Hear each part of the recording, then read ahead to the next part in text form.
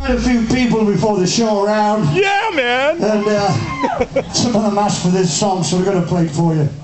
Does this town? Know how to rhyme. I had to thank a special friend of ours down here. Had a bit of a sore throat this morning. This lady here fetched me some stuff from the pharmacy here. Yeah. It's good stuff. I think it was Viagra. I've had a boner on ever since.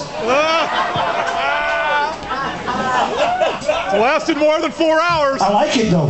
So, We know how to rock. this is, oh, man.